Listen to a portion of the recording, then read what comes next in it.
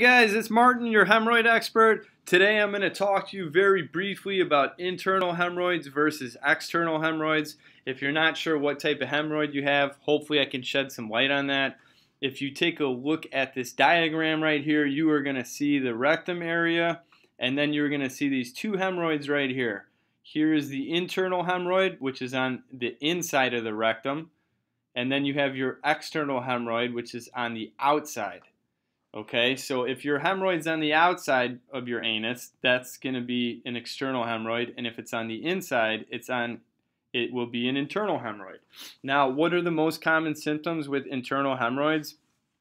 A lot of times if you have an internal hemorrhoid, you won't even realize that you have one until you have a little bit of blood in your bowel movement or your stool when you wipe with, a, with toilet paper.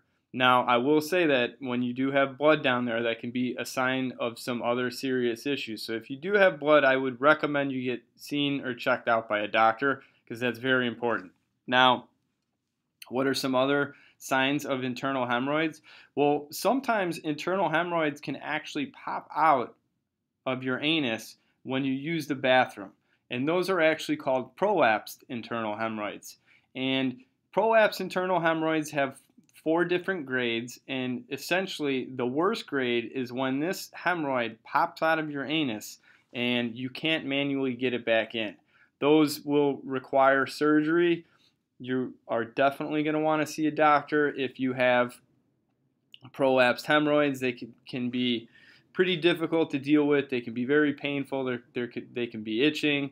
There's a lot of different factors that go in there, so you're absolutely going to want to see a doctor.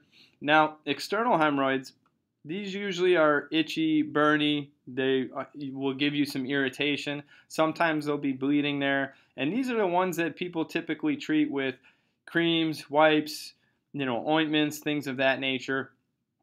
Now, occasionally what will happen is an external hemorrhoid will form a clot, and that's called a thrombosed external hemorrhoid. And a lot of times thrombosed external hemorrhoids will require medical treatment as well.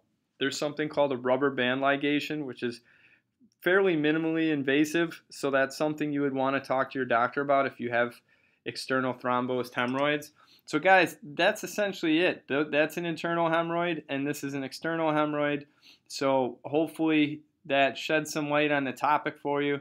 Now, if you are suffering from hemorrhoids, this is an awesome product. It's called Hemorrhoid Plus. You can get it on Amazon absolutely check it out. Hemorrhoid Plus Hemorrhoid Supplement. You can find it on Amazon.